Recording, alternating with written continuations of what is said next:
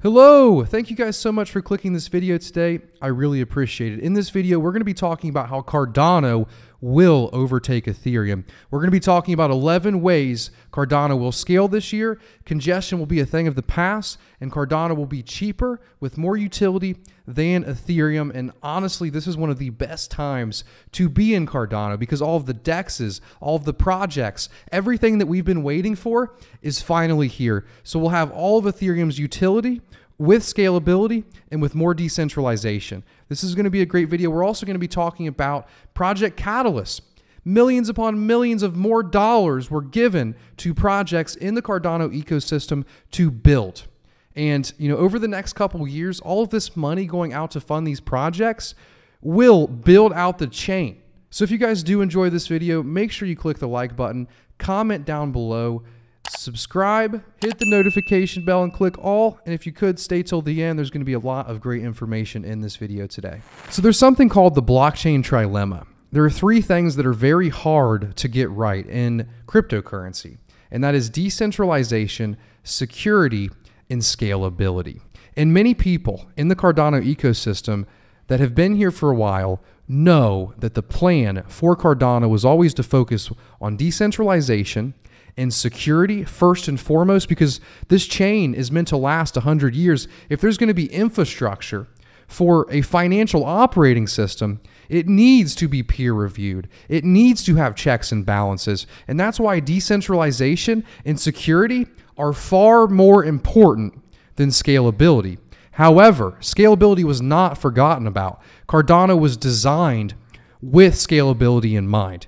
And that is one of the large benefits over Ethereum is the fact that Cardano was designed with scalability in mind. If we look at Bitcoin and we look at Ethereum, they're both decentralized, they're both secure. However, they lack the ability to scale. And Cardano, with hindsight, can actually look at the issues and the pros of both Bitcoin and Ethereum and build a better blockchain for the future that can scale and has those proper checks and balances for a real world financial operating system. And that's why this year Cardano will solve scalability. So let's talk about how Cardano will scale in 2022. Smart contract capability is now deployed on Cardano. The primary objective was correctness. Now we're focusing on performance and scaling, right? So not only do we have security and decentralization, we also have utility. And that's through these Alonzo smart contracts. Pipelining improves block propagation times by coalescing validation and propagation. The goal is for blocks to be propagated at least 95% of peers within five seconds by reducing the dead time between blocks. This provides the headroom to make more aggressive scaling changes, such as increasing a block size and increasing Plutus script parameter limits. So, to sum that up, what they're essentially saying is they're trying to improve the propagation of blocks, right? The minting of blocks. And the propagation uh, is the time for the blocks to actually go through. Let's say I send you a transaction right now.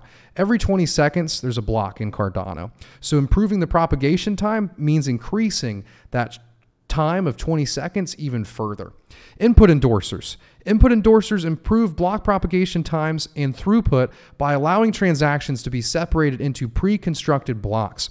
This improves the consistency of block propagation times and allows higher transactions rates. The reason pipelining is so important is because now that we have Alonzo, these blocks are full of so much more data, and the data within those blocks is transactions. And the reason that the size is increasing is because of these smart contracts within these blocks and the more complicated transactions that people are using. For example, drip drops, you can withdraw 10 tokens at a time. That is a bigger transaction. Smart contracts are bigger transactions, so increasing block propagation time is very important because these blocks are getting so large.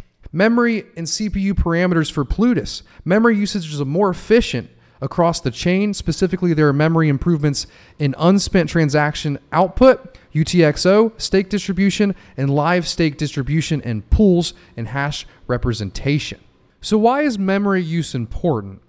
because not everybody has 16 gigabytes of RAM. You know, Cardano nodes need to run on smaller devices. You know, there's people in third world or second world countries that may not have the money to spend on a gaming PC that needs 16 gigabytes of RAM or 32 gigabytes of RAM to run a node. One issue with Solana is the sheer power that you need just to run the validator nodes. And it's very important for people to be able to run a full mode node on a mobile device or on a Raspberry Pi. So these memory increases really allow more people to interact and operate with the chain, and you're not going to be limited by your finances or your hardware. So this is a big deal right here, perhaps one of the biggest uh, deals. Plutus script enhancements, even more effective usage of the powerful extended UTXO model through smart contract optimization. And these are the three CIPs that I keep mentioning to you guys 31, 32, and 33. The first one is reference inputs. Plutus scripts can inspect transaction inputs without needing to spend them. This means that it is not necessary to create UTXOs simply to inspect information held by an input. So this essentially means that it removes one of the layers of computation, you know, the, the requirement to inspect to make them more efficient. Plutus datums. Datums can be attached directly to outputs instead of a datum hashes. This simplifies how datums are used as a user can see the actual datum rather than having to supply datum that matches the given hash. So I didn't really know what a datum was, so I wanted to read that for you guys real quick. And as I learn more about this, I'll make sure to educate you as well. So hit that subscribe button. The datum is a piece of information that can be associated with a UTXO and is used to carry script state information such as its owners or the timing details. So it's essentially data you know, and that data could either be owners or timing details or other types of data. And often it is used in combination with a redeemer, which is arbitrary information included in a transaction to provide an input to the script. If you don't know that, no worries. I'm sure you won't need to unless you want to be a smart contract developer. Script sharing, the next important thing, Plutus script references can be associated with transaction outputs, meaning that they can be recorded on chain for subsequent reuse. It will not be necessary to supply a copy of a script with each transaction, hugely reducing friction for developers reusing scripts in multiple transactions significantly reduces transaction size and improving throughput and reducing script execution costs. This is a very big one. There's essentially stating that you're going to reduce the amount of times that you have to keep the whole script in a transaction. And we're talking about these block size increases. Well, if we actually decrease the size of scripts and the size of usage in these blocks, the more block room that we have will allow more transactions and more scripts on Cardano with CIP33 here. Node enhancements, improvements will help even the distribution of stake and reward computations across epochs thus providing a greater headroom for block size increases. Also, memory usage is now more efficient. And this has already happened. They actually released an update to Cardano Node, which is what Daedalus uses, and it's what stake pool operators have to run to be in consensus with the rest of the protocol.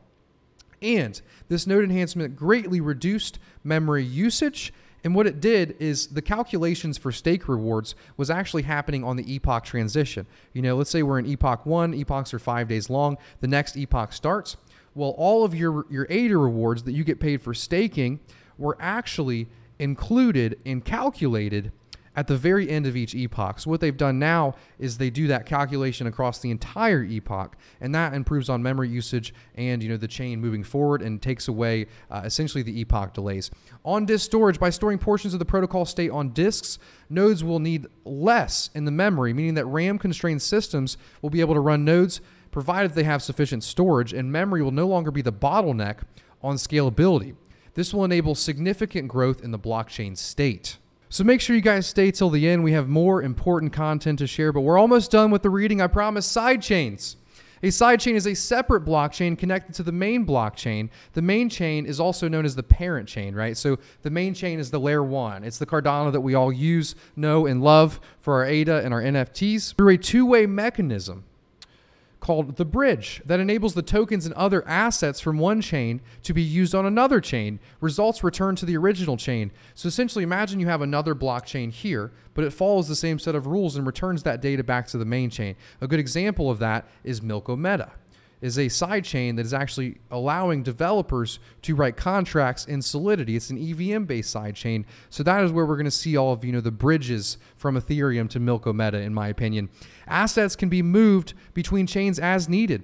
One single parent chain can have multiple inoperable side chains connected to it, which may operate completely in different ways. Look, they get into it. Uh, EVM side chains coming to Cardano include DC Spark's Milkomeda and IOG's Mamba. I've never heard of Mamba before. We'll have to look into that. Hydra introduces isomorphic state channels to maximize throughput, minimize latency, and incur low to no cost and greatly reduce storage requirements. Hydra provides a more efficient means to process transactions off chain while using the main chain ledger as a secure settlement layer. So it's essentially another way, it's another way of processing transactions without putting all of that data on the main chain. Last but not least, or we got two more now, off-chain computing, offloading some of computation, for example, asynchronous contract execution can drive greater core network efficiency. Transactions occur outside the blockchain itself, yet can offer fast, cheap transactions via a trust model.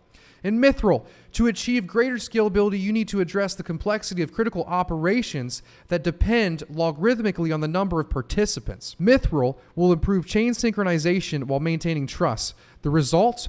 Multi signature aggregation that is fast and efficient without compromising security features. So, I know a little bit about Mithril. I may get something wrong. I don't think I will, but Mithril, from my understanding, it allows you to have a light client, but it is essentially a full node, but you don't have to have the whole history of the blockchain stored. There's essentially checkpoints in the blockchain. And as long as you have the recent checkpoint history stored, it does not compromise the security of running a full node. That's pretty cool.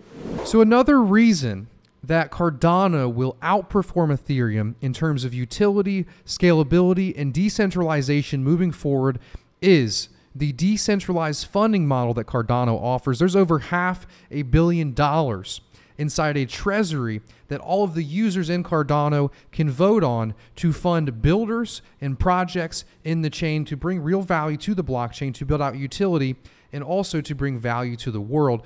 And there are so many proposals being funded right now millions upon millions of dollars. These are happening about every three months. The amount of money going out every time is usually doubled with each different fund. And we are now on Fund 7. So there are six other funds, or five other, because the first one was a, a test. There were five other funds that have funded many projects on Cardano, many people building and a lot of those builders have really provided a lot of value. One I can think of is uh, DC Spark, uh, Liqwid Finance, um, also, Blockfrost. There's been a lot, but this is honestly the best fund that I've ever seen. We're going to scroll through real quickly and look at some of these crazy names. But again, I would really appreciate if you guys stay till the end. So, one, NuNet. Uh, NuNet, I'm really happy to see that. That is actually a Singularity Net project. They're essentially trying to decentralize computation. And one idea I had with Ben Goertzel on the podcast was to actually allow stake pool operators to run their nodes on a decentralized network. I'm sure that's far away, but I'm happy to see them get some of that funding. And this is in the AI and Singularity Net scale. There's also some sustainable AI fake news, identity patterns, a lot more there innovative crowdfunding launchpad. So a launchpad that's coming. Free Oracle. I thought this was pretty cool. This is from Charli3, and this is actually a free Oracle for new projects. Happy to see that funded. M Labs was funded. That's good. Sorry if I'm missing your awesome project. I'm just trying to keep it short and to the point. Uh, the Shopify plugin, accept ADA in a store. Very happy to see that. Uh, Japanese ambassador and Catalyst, that's not my favorite, but I'm happy to see that. PAB promotion in Japan. Promotion's good, honestly. Cardano game assets for utility. That's awesome. Not that's not the one I wanted to get to, but I think it's really cool. The final and important one. Where is it? Ledger Live integration. So I've helped so many users set up a hardware wallet on Cardano, and there's a software for ledgers called Ledger Live. And normally you can't use that. In Ledger Live, you can store Bitcoin, Ethereum, but not ADA. And that is such a big deal. New users that are getting newly adopted to cryptocurrency and they set up their ledger, they don't see it on Ledger Live, which is what the software and the hardware actually tells you to download when you set up your ledger for the first time. So this has really been a big confusion for everyone, and I think this is going to be very good for the adoption of Cardano because some people actually like to buy coins just because they're on Ledger Live with everything else. So very happy to see that. But take a moment and scroll through all these proposals. I mean, this is absolutely insane. And all of these projects, all of these people being being given money from the blockchain are going to come and add value to the blockchain. They're going to promote it, they're going to educate, they're going to build infrastructure. And this is huge and this is only the beginning. You know, this is 1 year of these proposals going out. What will Cardano look like five years from now when we have millions of dollars going out to community members every three months for their value add? Great things are coming. I'm very excited to be in the Cardano ecosystem. 2022 is going to be another year where Cardano thrives and actually makes changes to cryptocurrency as a whole and sets the standard for what's to come. Thank you guys so much for coming to this video today. I really appreciate it. If you made it till the end, please comment down below. Cardano is setting the standard for cryptocurrency. I hope you enjoyed this video. If you did, make sure you hit the like button, subscribe, notification bell, comment down below so we can push this video out to the wider cryptocurrency community so more people can know what's happening on this chain. Not too many people know about Project Catalyst, and honestly, that is sad because it is ridiculous how much money is going out to fund builders on this blockchain. See you guys. Love you. Have a good weekend.